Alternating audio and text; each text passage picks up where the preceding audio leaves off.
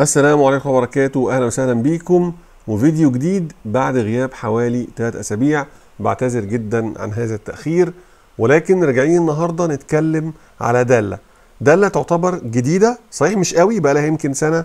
ولكن بالنسبة للقناة عندنا دي أول مرة نتكلم عنها.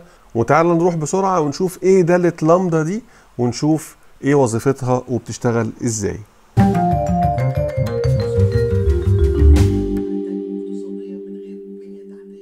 دالة لامدا وظيفتها إن هي أستخدمها عشان أعمل وظائف مخصصة أو أعمل كاستم فانكشن يعني أنا هستخدم دالة اسمها لامدا عشان أعمل الدالة بتاعتي أنا. طب ده معناه إيه؟ أو إيه استخداماتها؟ أو إيه فايدتها؟ أول حاجة إن أنا ممكن أعمل بيها دالة قابلة لإعادة الاستخدام. يعني ممكن أعمل بيها دالة أستخدمها أكتر من مرة وكمان ممكن أستدعيها باسم مألوف. يعني أسميها أي اسم أنا عايزه وأستدعيها في أي وقت أنا عايزه. الحاجة التانية إن أنا ممكن أستخدم الدالة دي في أي مكان بس داخل نفس ملف ال Excel.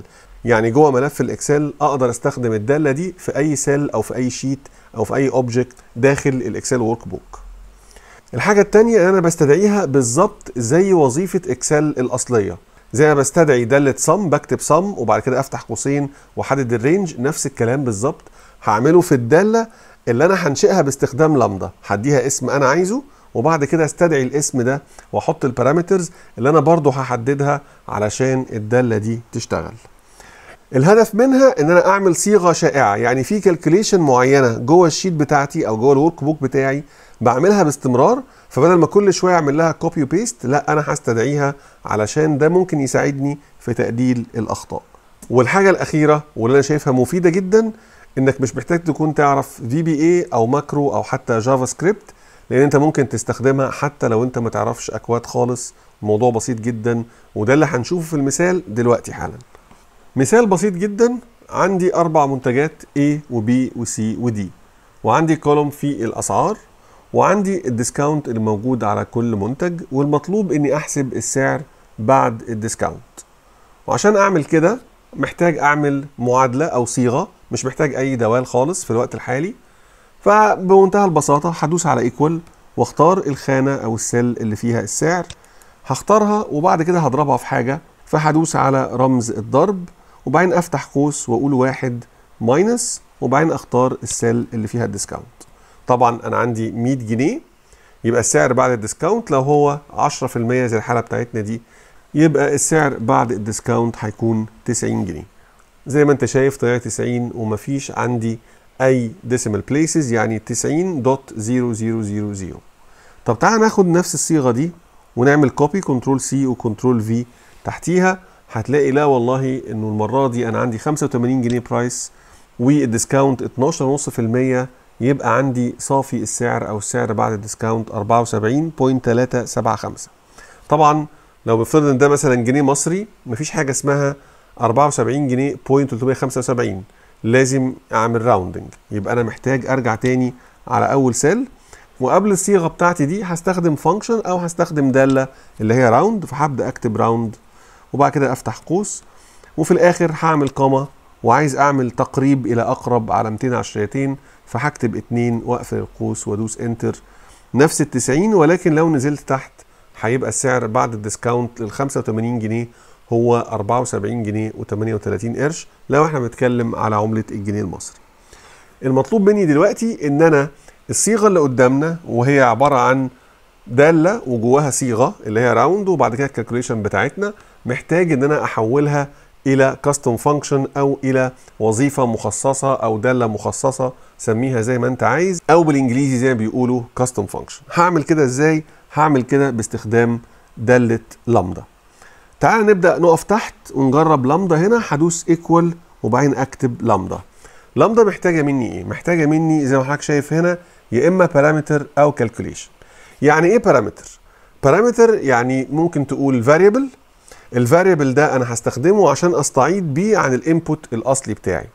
يعني مثلا لو فكرنا في ال calculation بتاعتنا هنا تاني هتلاقي إن أنا بحتاج ال cell اللي بالأزرق دي اللي هي C 6 وبحتاج كمان input ال cell اللي هي D 6 يبقى أنا عندي two inputs أو two variables أو عندي متغيرين المتغير الأول اللي هو السعر والمتغير الآخر اللي هو ال discount يبقى أنا عايز رمزين يعبروا عن المتغيرين دول.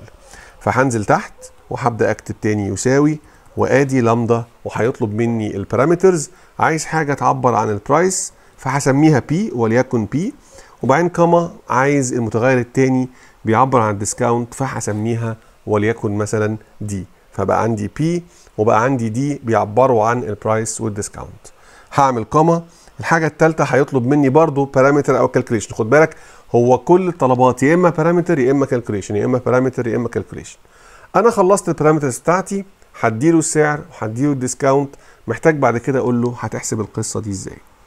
الصيغة بتاعتي already كانت موجودة فوق.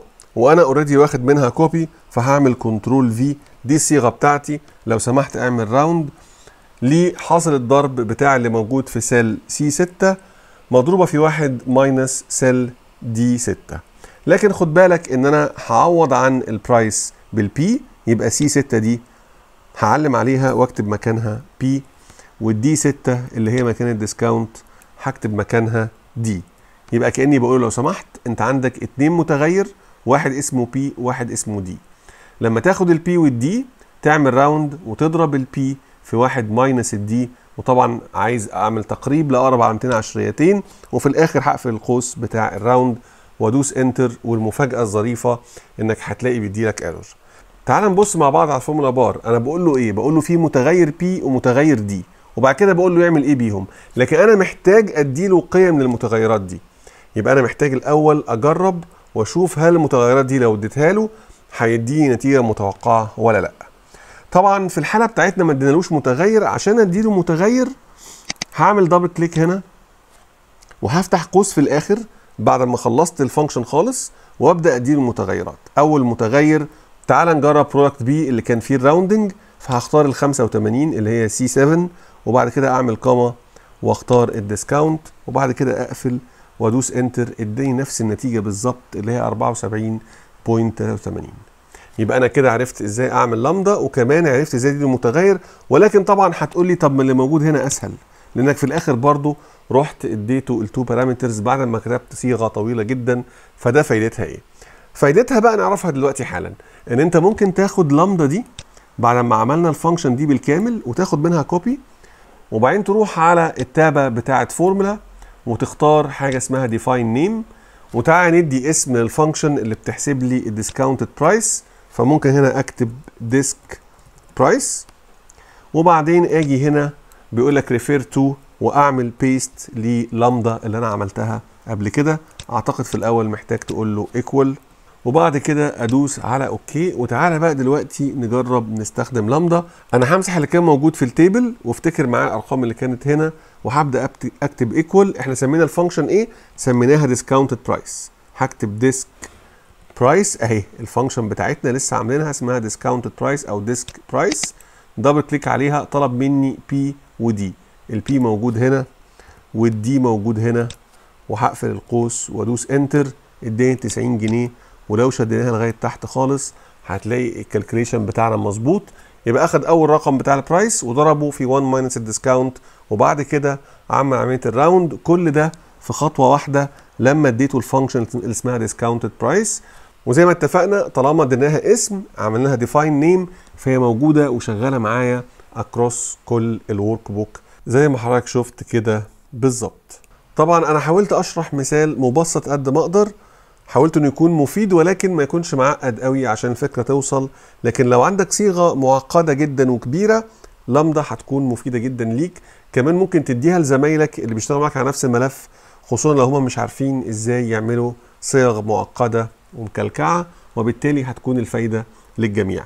خد بالك إن لامدا كمان بتستخدم كداله مساعدة جوه دوال تانية زي مثلا by row و by column وزي كمان داله reduce وداله map. يمكن نتكلم عنهم في فيديوهات جاية ولكن إن شاء الله المرة الجاية هنرجع نتكلم تاني على ال Power BI.